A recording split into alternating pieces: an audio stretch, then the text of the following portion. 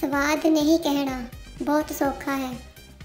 ਪਰ ਰੋਟੀ ਦਾ ਅਸਲ ਸਵਾਦ ਜਾਣਨ ਲਈ ਤੁਹਾਨੂੰ 2 ਦਿਨ ਭੁੱਖੇ ਰਹਿਣਾ ਪੈਣਾ ਹੈ ਤੇ ਤੀਜੇ ਦਿਨ ਉਹੀ ਰੋਟੀ ਖਾ ਕੇ ਦੇਖਿਓ ਕਿ ਰੋਟੀ ਸਵਾਦ ਹੈ ਜਾਂ ਨਹੀਂ।